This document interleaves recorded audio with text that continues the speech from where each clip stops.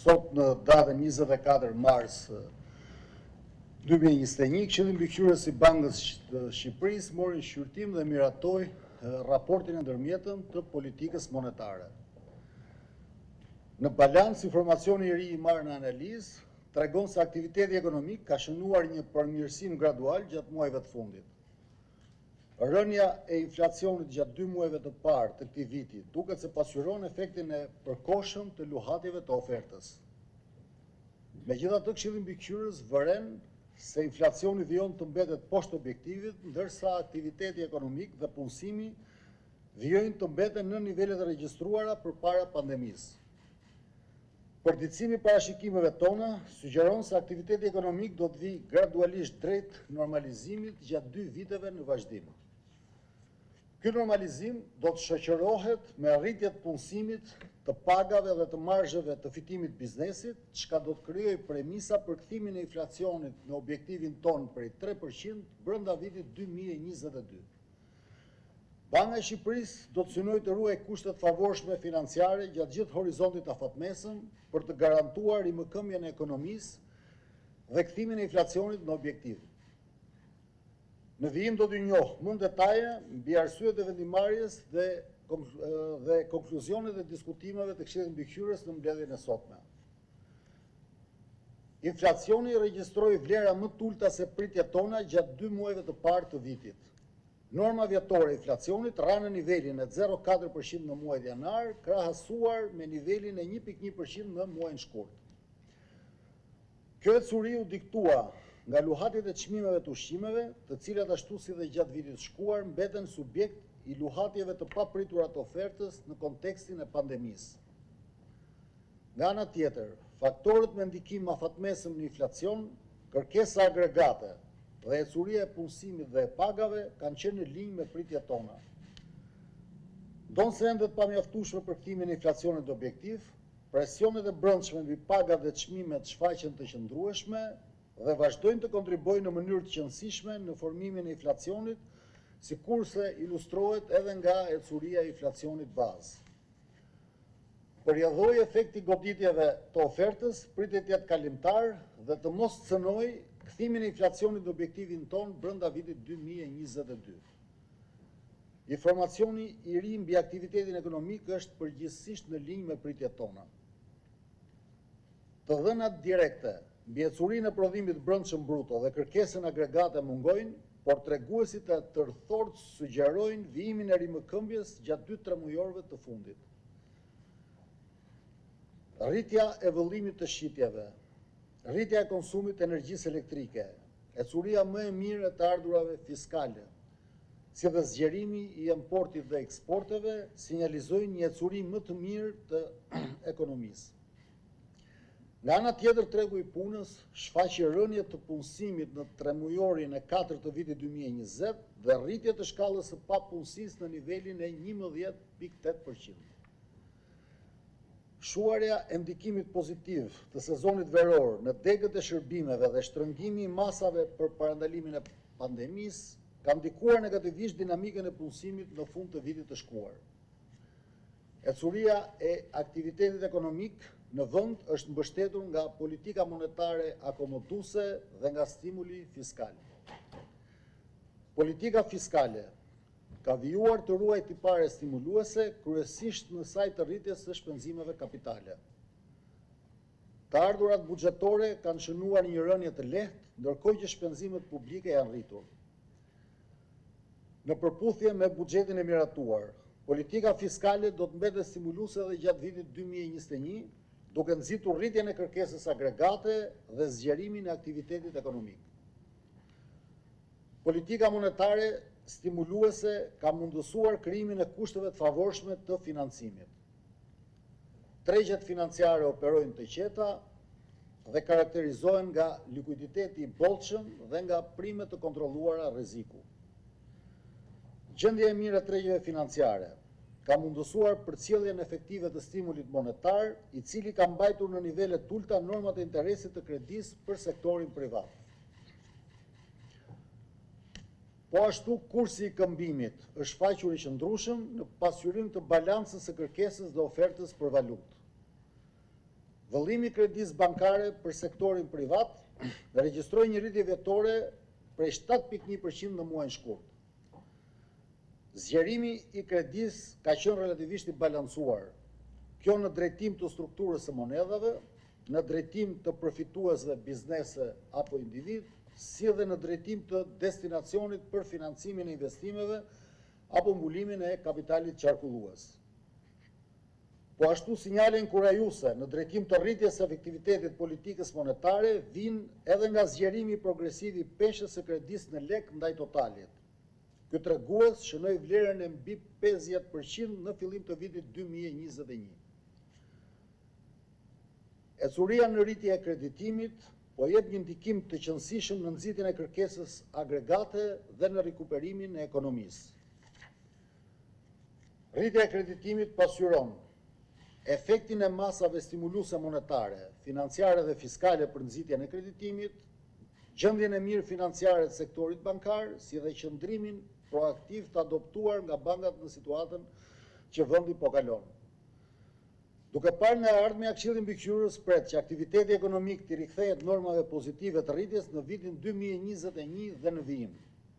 Rritja ekonomike pritet të mbështetet nga një stimul i konsiderueshëm monetar dhe fiskal, nga reduktimi i pasigurisë si dhe nga rimëkëmbja e aktivitetit ekonomik botëror.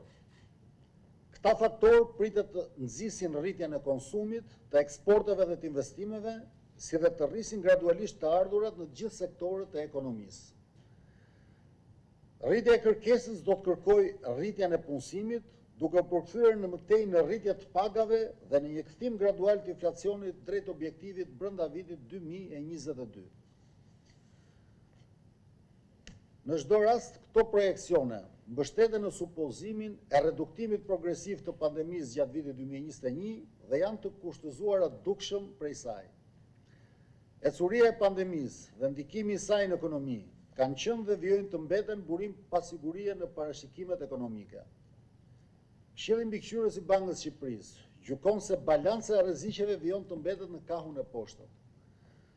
Në veçanti rreziqet e kahut poshtëm mburojnë nga një zgjatje në kohë e pandemisë dhe kufizimeve që ajo sjell në aktivitetin ekonomik, një rimëkëmbje më e ngadaltë e konsumit dhe investimeve si pasojë e një sjellje më të kujdesshme të familjeve dhe të biznesit shqiptar, një transmetim më i ngadaltë i stimulit monetar si pasojë e një sjellje më të kujdesshme të bankave në kredidhënie. Në konsistencë me këto parashikime, Këshilli Mbikëqyrës vlerësoi se qëndrimi aktual i politikës monetare mbetet i përshtatshëm. Rrjedhimisht në këto kushte, Këshilli Mbikëqyrës në mbledhjen e sotme vendosi të mbajë të pandryshuar normën bazë të interesit në nivelin e zero pesë për qind, gjithashtu të mbajë të pandryshuara normat e interesit të depozitave dhe të kredive një ditore, respektivisht në nivelet e zero një për qind dhe zero nëntë për qind. Gjithashtu Këshilli Mbikëqyrës gjykon se politika monetare do të vijojë të mbetet akomoduese gjatë gjithë horizontit kohor afatmesëm, në funksion të rikuperimit të qëndrueshëm të aktivitetit ekonomik dhe të kthimit të inflacionit në objektiv. Së fundi Këshilli Mbikëqyrës vëren se materializimi i rreziqeve të kahut të poshtëm do të kërkonte lehtësimin e mëtejshëm të qëndrimit të politikës monetare. Ju falemnderit. Kjo ishte deklarata e mbledhjes së sotme të Këshillit Mbikëqyrës të Bankës së Shqipërisë pas analizës së ndërmarrë për raportin e ndërmjetëm të politikës monetare, nëse ka ndonjë pyetje. Po. Mirdita, Mirit Latili nga Fax News. Ju edhe më herët e keni shprehur edhe në diskutimet me FMN-në që vaksinimi do të jetë edhe tregues i rritjes ekonomike ose më saktë si do të shkojë procesi, le të themi, i ringritjes ose i daljes nga kjo situatë. Tashmë që vaksinimi ka filluar dhe duket që do të shkojmë drejt edhe imunitetit të tufës, çfarë parashikimesh ka Banka e Shqipërisë që do të ketë në projeksionin e saj të rritjes ekonomike? Kjo është pyetja e parë. Dhe pyetja e dytë, duke qenë se ne vitin që lamë pas, por dhe tani nuk është se kemi një ndryshim të kursit të këmbimit dhe si po shkohet me procesin e deeuroizimit në këto kushte, duke menduar që nëse do të kemi një rihapje, çfarë të rejash do kemi ose çfarë zhvillimesh pritet të ketë? Faleminderit. Faleminderit. Atëherë viti i kaluar u mbyll me një recesion, me një rënie ekonomike që pritet të dalë shifra përfundimtare rreth nivelit të 4%. Natyrisht që edhe në bazë të deklaratës së politikës monetare dhe të analizave që ne kemi bërë në Departamentet e Bankës së Shqipërisë në linjë dhe me partnerët tanë ndërkombëtarë si Fondi Monetar Ndërkombëtar dhe Banka Botërore, parashikojmë të kemi rritje ekonomike gjatë dy viteve në vijim. Shifrat, parashikimi në shifra i rritjes ekonomike për momentin, pasi parashikimet ndryshojnë në mënyrë të vazhdueshme, është që për këtë vit të parashikojmë të kemi një rritje ekonomike prej 4.9% dhe vitin tjetër prej 4.1%. Gjithsesi thash që Parashikimet ndryshojnë dhe janë në varësi të të situatës së pandemisë. Ju përmendët vaksinat, sigurisht që vaksinat janë elementi kryesor i cili do të përshpejtojë përmirësimin e situatës së pandemisë dhe krahas dhe paralelisht me të do të vijë dhe rihapja ekonomike. Kjo është e qartë jo vetëm për Shqipërinë, për rajonin, por për gjithë botën. Sa më shpejt të vaksinohet popullsia dhe të arrihet Imuniteti i tufës aq më shpejt do të krijohet siguri dhe do të rikthehet jeta normale dhe sigurisht që do të përmirësohen dhe treguesit ekonomikë. Një nga elementët që ne presim, paralelisht me vaksinimin dhe me përmirësimin e situatës së pandemisë, është dhe sezoni veror, i cili është gjithmonë një test, pasi turizmi është një nga shtyllat kryesore të ekonomisë shqiptare, është një test që do të tregojë se si do të vijë ringritja ekonomike. Ka pasiguri, sigurisht që ka shumë pasiguri. Unë theksova që balanca e rreziqeve është në kahun e poshtëm. Pikërisht për këto arsye, është balanca e rreziqeve në kahun e poshtëm, pasi nuk e dimë kohëzgjatjen e pandemisë. Sigurisht që parashikimet që ne përpiqemi t'i bëjmë, i bëjmë të jenë sa më realiste dhe bazuar në këto parashikime, unë dhashë dhe konkluzionet e mësipërme. Pra ne parashikojmë një ringritje për dy vitet në vijim, në rast se situata e pandemisë do të vijë gradualisht duke u shuar. Kjo është ajo që mund të themi sot për momentin. Lidhur me pyetjen e dytë për deeuroizimin, mos gaboj, kjo është një histori që ne kemi diskutuar, e kemi konsumuar, vazhdojmë ta ndjekim. Banka e Shqipërisë ka një politikë për promovimin e monedhës kombëtare. Kjo politikë për promovimin e monedhës kombëtare bëhet për dy arsye kryesore, teorike dhe praktike, por kryesisht për rritjen e transmetimit të politikës monetare, me qëllim stimulimin e konsumit, investimeve dhe të kreditimit, pra me qëllim rritjen ekonomike dhe rritjen e mirëqenies së qytetarëve shqiptarë.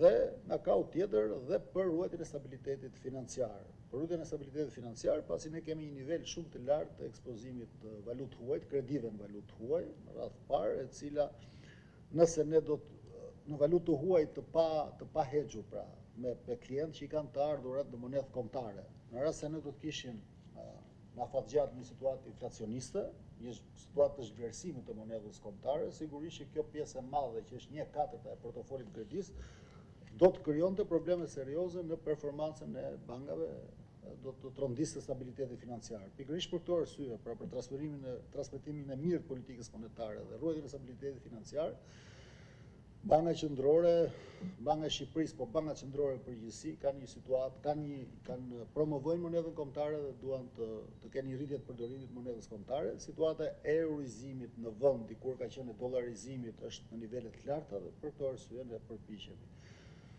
Tani masat janë prezantuar, ne i kemi përmendur, ka një ecuri pozitive, ka një rënie, nuk synojmë të shmangim euron, ne jemi në eurozonë, sigurisht që Tregtia e jashtme bëhet importet dhe eksportet do të funksionojnë me euro, por disa elementë, paraja kombëtare është leku, natyrisht që shitjet dhe blerjet duhet bërë në monedhën kombëtare, në mënyrë të panevojshme, nuk ka nevojë pse të qarkullojë euro aty ku s'duhet, sigurisht që për aktivitetin e import-eksportit natyrisht që do të kryhet me monedhën euro, por aktiviteti i brendshëm natyrisht që duhet të kryhet me monedhën kombëtare. Pra këto janë synimet. Ne i përsërisim, mirë është t'i themi, nuk ka asgjë të keqe nga përsëritja në fakt, pasi arritja e këtyre synimeve do të bënte që jo vetëm Banka e Shqipërisë të arrinte objektivat e veta, por sigurisht që ne do të ishim më të sigurt, qoftë nga sistemi bankar, nga stabiliteti financiar, ashtu edhe nga transmetimi më i mirë i politikës monetare. Faleminderit, nëse ka një pyetje tjetër. Faleminderit.